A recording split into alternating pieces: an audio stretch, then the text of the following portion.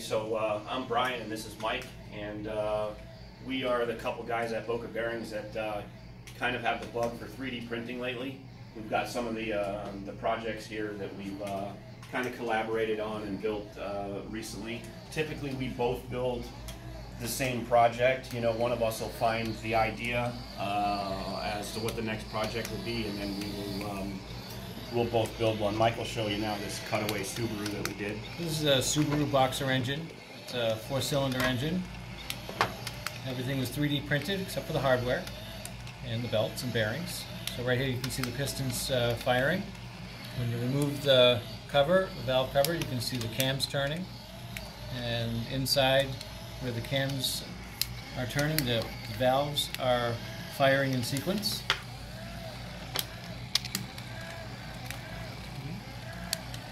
Have a flywheel that's being driven by a pinion gear connected to the motor. These here were kind of the projects that started all these uh, these jet turbines. And uh, we've had 3D printers at work here for a while. And the story is kind of Mike got a 3D printer for his house and uh, worked on this for I don't know what was it like a month or so or a few weeks. four to six weeks. Yep, and, and brought this in. And up until that time, uh, we hadn't really done anything anywhere near this advanced on 3D printers, so that kind of threw down the, the gauntlet with this build.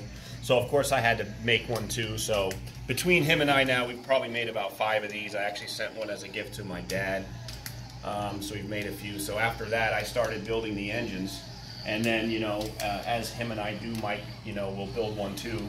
And these two projects over here were the first kind of that we found the project at the same time.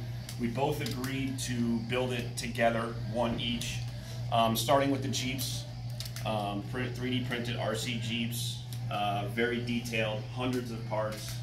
Um, took probably about a month. Everything works, you know. The engine's up here under the hood, which you'll see when you when you come around.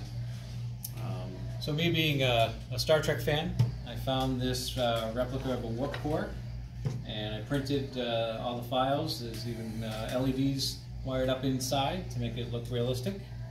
And this is just a fun showpiece uh, for my hobby. the latest actually completed projects were these tanks. Um, and these are probably the largest in size prints that we've ever printed. They're completely working. Um, you can drive them with an RC uh, RC controller. I think we've actually both put some videos up of them uh, in action.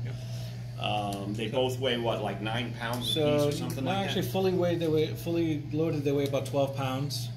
Uh, this was uh, this was over 500 hours of printing, and probably 90 to 100 parts printed with all all the assemblies with using several bearings in each assembly.